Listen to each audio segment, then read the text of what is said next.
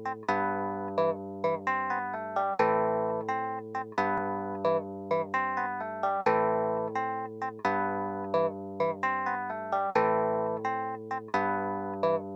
you. My bitch is pretty, I know that she with me, I know she a boss. Yeah, I know she a boss. We walking the mall, we copping whatever.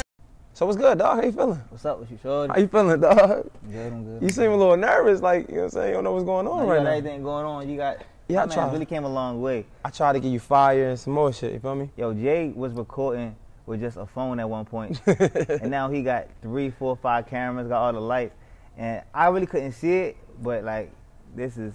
I you- told you doing your thing, yo. You Appreciate doing it, your dog. Doing your thing, seriously, seriously. But yo, I feel like the last time we tried to do this interview, it was weird because we knew each, we we know each other too well, yeah, and we was trying to do the interview. It was like, it's just weird interviewing with you, bro. Let's do it another time. right, right. But like, I feel like you um you definitely came a long way from then. Both of us, right? Like just like you said. Um, but for the people that don't know, like, who is Mornin Afta? You had the shirts. Who is Mornin Afta? But I feel like nobody really got a real introduction of who you are. Who who, who is Mornin Afta? The artist, the person.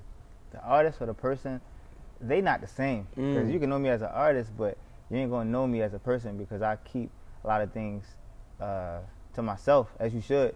You know what I'm saying? Like you got everything on social media. That's why Beyonce don't show you her kids. Drake don't show you his kids. I ain't gonna show you my kids, which is my money. I ain't gonna show you too much of my siblings. I might take a picture of them. I ain't gonna show you and tell you too much about them because Mm.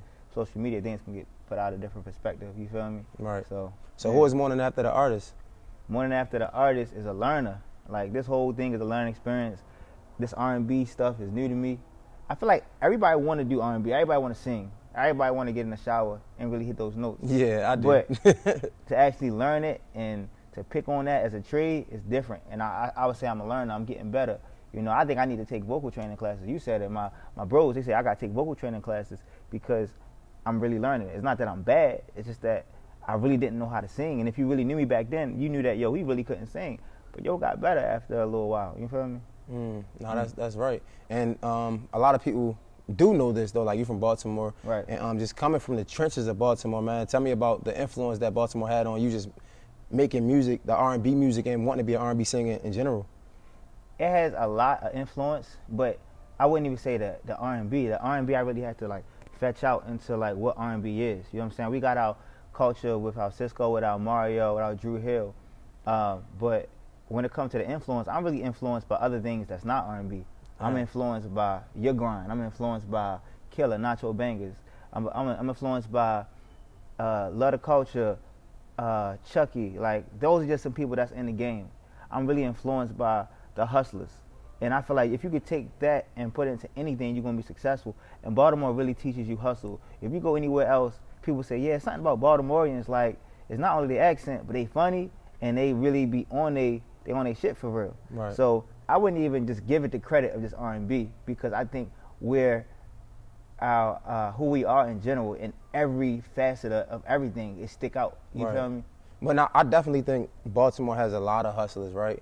But when you when I think of hustler, right, I think of like rapper, I think of dope boy selling drugs and things like that. What Mm-hmm. made you coming from Baltimore with so many hustlers? What made you want to choose? What made you choose R and B? hard. It's harder. That's it. It's not Mm. even because it's not. It's just when I'm a type of person that I just want to try everything that's harder. Mm. Like I see, I was in a whole rap group before, and I see uh, how easy it is, and I just want to try something that's harder. Like that's Mm. it. It's literally a challenge. Something about the challenge is like, yo, I could do that. I could sell drugs, but that's that's too easy. You know what I'm saying? Mm. It got to be something that's harder and might even be more better in the long run. Right. And R&B is harder and it is better in the long run because you might got somebody that was uh, uh, a rapper that was relevant when Sisqo was around, but Sisqo was still around compared to every other rapper. He's played out and everything else, but if Sisqo want to come out and be on the back of a of a, of a Chris Brown song, everyone's going to accept it. You know what I'm saying? But Coolio, you know what I'm saying, that was out back then, they might not accept it being on a Chris Brown song. They're like, yo, who's this old head? You feel me? Right. So I think the things that are more challenging, they they last longer. So I just felt like I want to be in it to win it. I want to last longer. I don't know how to do it, but I'm gonna figure it out. So when you first started, you you didn't even have a voice. You was just like, man, forget it. I just want to be an R and B singer. Yeah, yo, I, I ain't have a voice. I literally didn't have a voice. I just had, I had, uh, uh, I ain't gonna lie. I had the, the mindset. I had the same thing that anybody else who would have on auto tune. I had the shower voice. You know what I mean? Mm. Everybody got a shower voice. I mean, But- maybe not everybody, because I be trying to sing, but I, I'm just not really good at it. nah, you can teach yourself, but it's hard though. Like if I was to give it a time frame, I say five years. Five years, you're gonna have something. You're gonna have a Drake effect. Mm. And Drake, everybody said Drake couldn't sing back then, but over time, Drake got better as a singer. Right. You know what I'm saying? So, so yeah, I think I think you can definitely get better over time. Like, I had to teach myself. So you said morning after the artist is a learner, just steady yeah, progressing, learner, right? Learner. I can't even give myself like, oh, I'm the greatest R&B and stuff, stuff like that. I want the world to give it to me, but even when the Grammys come and all that, I'm gonna just say, bro, I'm always a student of the game. You feel me? You feel what I'm saying? You you talking about uh, morning after as the artist? You say you're a learner, like you study progressing, and there's so many artists, so many people in Baltimore that's just hustling in general, right? So right. it make you want to like hustle harder. And I feel like it kind of answered my own question. Like I wanted to talk to talk to you about what made you finally say, forget it. I'm gonna just up and move to the A. Bro, it's like you got Maryland, which is known for you got the government sector. You got people who I wouldn't say so much retire here, but uh, you got government money here. So you got people who make a, a, good a good a good salary here and stuff like that. But going to to Atlanta, it's just it's like different. you got drug dealers, you got the scammers, you got the people who make money legally, and it's so many black people that's doing it. Mm. So it's like, why not put myself around a whole bunch of black successful people um, who doing it at different ratios? for real, for real, I say Maryland is like it's like a mining city. You know what I'm saying? Because we next to D.C. Um, so we talk about government contractors. If you go to a place like I don't know, I'm gonna just throw this out there. I'm gonna say like Oklahoma, they might be known for mining. So mining is like a good job. You feel mm-hmm. me? Here, a good job is you know the, uh, government workers or like that. It's the same mentality. You feel me? But I ain't see that in Atlanta. I don't really see a craft where people make money. I see so much pools of money. Right. They're just like, yo, just get it, get it. So, but but going down there, it just it put me around people who who get into it, who really making money off of it, who selling selling beats for ten thousand, selling hooks for five thousand. So I'm like, bro, they making money off of this, and I'm doing this at an accelerated rate in the trenches. I'm I'm singing for Migos, opening up for them. I can go down there and just do that same type of mentality, and who knows where it can get me. Mm. So it's just it's just a leap of faith, bro. That's really what it is. Yo, you know it's crazy, man. Um, I feel like when we tie to something, a yeah. lot of times we want closure. And you know, a part of getting closure is feeling like we accomplished something. Do you feel like you accomplished everything you need to accomplish in Baltimore? Nah, nah, nah. I feel like when you are a, a, a perfectionist as I am, it might be a Virgo, a Virgo with me. Like once you're perfectionist as I am, you'll say no. You know what I'm saying? You say like, yo, I still need these features to hook up. I need to do this and that. But in all actuality, you know what I'm saying? There's no real no, no blueprint. You don't even know your blueprint. Only God knows your blueprint. I'm real religious, so only God knows your blueprint. So I uh, was like, hey, it's a lot of things I still could be doing, mm. but ain't nothing should. Why can't I do both? You feel right. what I'm saying? Why can't I do both? Why can't I still come back, still build those relationships, and be there? You know what I'm saying? I already, I did the majority. I did the legwork. You know what I'm saying? You, my name ring bells to a certain extent in Baltimore, so I can I can maneuver how I want to maneuver here. Right. Let me do that in the actual in the in the place where it's the music industry, so where, where Atlanta is for real. Facts. And you know they say like you know um, I think Boosie talked about this a lot. Like basically, just you have to leave your hometown to really get love from your hometown. Like they're not really going to love you until you go away. Do you feel like you going away give you more respect in your home city? Oh yeah, yeah. People take you serious because it's just like, oh, you do music. Nah, it's not. Oh, you do music. It's oh, congratulations on your move. How's everything going? They still might not follow you, but they know that you out of here. Mm. They know mm. that they ain't expecting you to get married and have a kid and settle down and get a house. They honestly expecting you to do exactly what you've been saying that you was doing, but since they so focused on their life, they ain't never really focused on yours. So I have seen people uh, just take me a little bit more serious and then like, yo, next time you come back to the city. So yeah, yeah. Fact. So how how was the transition? Like, did you find it easier to do features with artists out there? Like, what are you doing out there that you wasn't doing in the city, or what are you doing out there that you was doing in the city of Baltimore? Like, right, so how was the transition? I'm gonna tell you for everybody that's watching, when you in your city and your city really ain't moving, you got to go to everything that's that's that's popping. Here, you got Shoe City and Downtown Locker Room. Mm-hmm. Those are just two clothing brands for everybody that's watching that was popping in the city. And you got 92Q, which is 92.3. You know what I'm saying? These are the most three poppinest things in the city, if poppiness is a word. But most popping, whatever. Right? Yeah. so I went to all three of those. Anything that they would throw, and I just go to them. I make space. You know what I'm saying? So when Nipsey Hussle came, I came and I just was like, what's going on, Nipsey Hussle, this and that, just introduce myself. I did that down there for everybody. Mm. So if I do that, but I do that in Atlanta, you got you got these three things, right? But instead of these three things, you got 500 of them, literally. Yeah. So I'm just hitting those up, and I might meet a Migos. I might meet a K Camp. I might meet. Uh, These are uh, some of the people you met, though. Yeah. Already? Yeah, I met. I already, I already met. All, I met Zaytoven. While and being in Atlanta.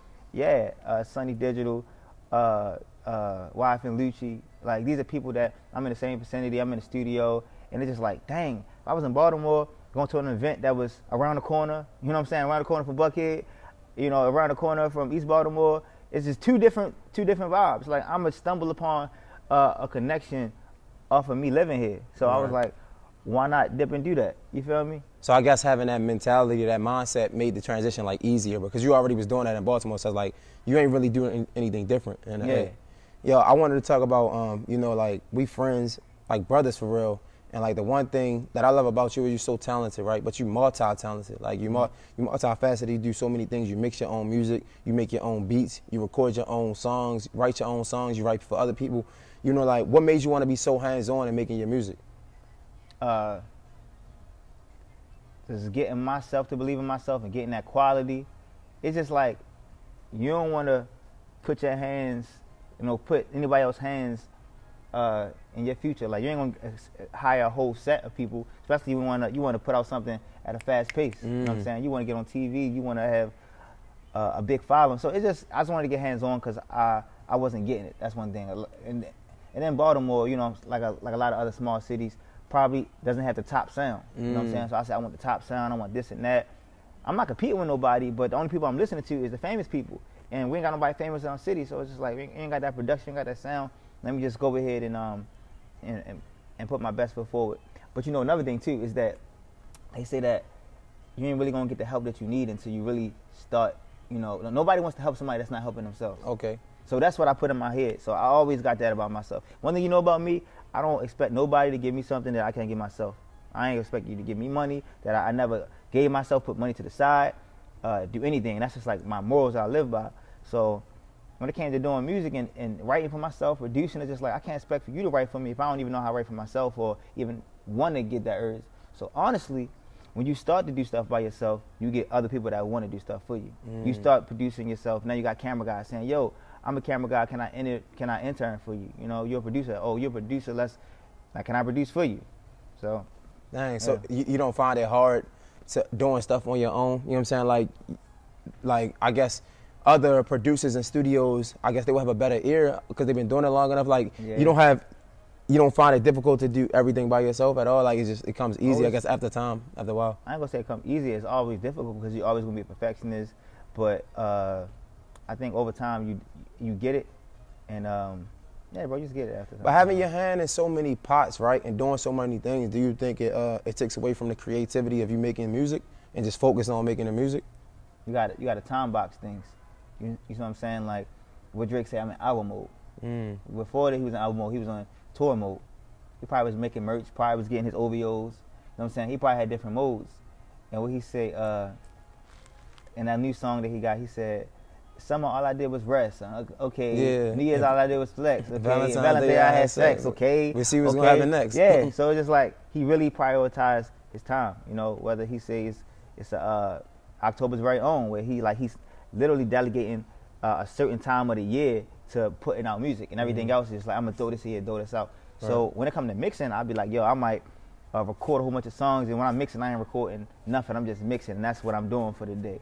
So it is more difficult um, because if I wasn't, I'd just be able to record a song, get it put out, and it could it could drop. But So it just like take that. it takes more time because like you gotta compart- yeah. yeah compartmentalize right. It's like you gotta Yeah. focus on making the beat. If I'm making the beat, I can't focus on making music. I just gotta make the beat right. Yeah, and then I'm not I'm not gonna say like I said I'm a learner at everything. So I'm the best morning after that is right now, but I'm not I'm not gonna say I'm I ain't gonna ever say I'm probably the best. I'm gonna just say I'm the best morning after every time. And if you call me the best at R&B, you call me the best at R&B. But um, I still got some growing to do. Some things that I want. You know what I'm saying? I might make a hit and it might be fire and the world might like it at that point in time. But I'm still say, yo, I, I gotta. It's something else I can learn. You feel Right. me?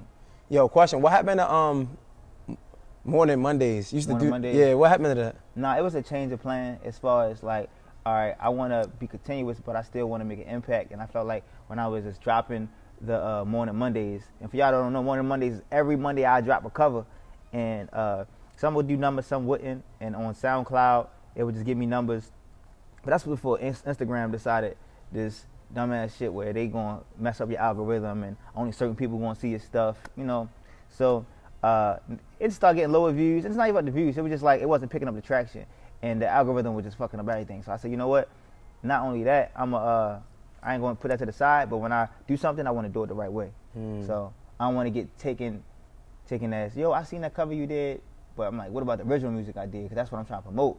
Right. So so, question: Do you think that uh, artists doing covers on a weekly basis or just on a regular basis, you think that helps their career or hurt their career since you've been doing it? It depends on how how your fans picking it up. Because mm.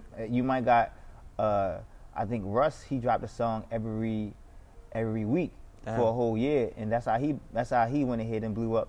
But that that method probably won't work for everybody. Mm. After a while, people will say, "You got the same flow. Look at DaBaby. He did that you know what I'm saying? He didn't put out once every week, but he puts something every once every, every, every, month. And everybody started to criticize DaBaby, and DaBaby is bigger than Russ. And as far as like the world knowing his brand, I ain't gonna say I don't know, but I just know the culture really fuck with DaBaby over fucking with Russ for real. And I fuck with Russ, but right. uh, it just you got to see what your fans is is. You got to get what's you. You feel me? That's why I say I can never say I'm the best. The, the baby is the best. DaBaby. The Russ is the best. Russ, and I'm the best morning after yo, how do you feel like, um, cause you, you dropped a couple singles, you know, the Plug's Daughter, mm-hmm. a few other ones, man. How do you feel like the people are taking your music now, man? I feel like I'm getting the ears that I want, I'm getting the eyes that I want, and uh, I'm also still finding myself. I'm still being creative, and I think it's building a different, it's building a different morning. Like mm. I don't really think none of this is a mistake. I think it's building a, a better morning. So the Plug's Daughter, it took a piece of creativity. I had to direct it. I had to do everything else. Um, so I, I, think it's doing what it got, what it got to do for real. That makes sense. What can uh, what can the people expect next, man? What, what, you got coming up? Features. I got features. I want to collaborate with y'all. I want to collaborate with y'all. Like I'm always a big advocate for R&B, working with hip hop. So I really want to work with some rappers. Uh, some rappers that's really out here grinding. Not no rappers that's like, yo, I'm gonna put out a tape next year. Person that's grinding they trying to either run a label, get on with a label, and be on the same type of tip I am. Because I'm, mm. I feel like R&B always had that relationship with hip hop and R&B. So I, you gonna see some collaborations with me, and that might make me pop. That might make me like, you know what I'm saying, just fit into a different category. But I just like that relationship. So that's what y'all expect to see from me. Already dropping projects. You're gonna see more visuals, but you're gonna see collaboration and morning after on this hook, morning after on that song, or you know. So that's what y'all should expect from a kid.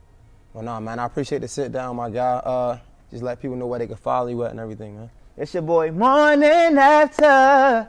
And you rocking with me, you rocking with Jay Hill. You can follow me at Mornin Afta on everything. So that's M O R N I A uh, A F T A. That's M O R N I N A F T A. M O R N I N A F T A. That's on Twitter, Instagram, YouTube, everywhere. And um, straight from Baltimore. And I'm just gonna give y'all R&B. I'm gonna be real today. I die. Me. Already, I appreciate it again, dog. Thank Always you. a pleasure.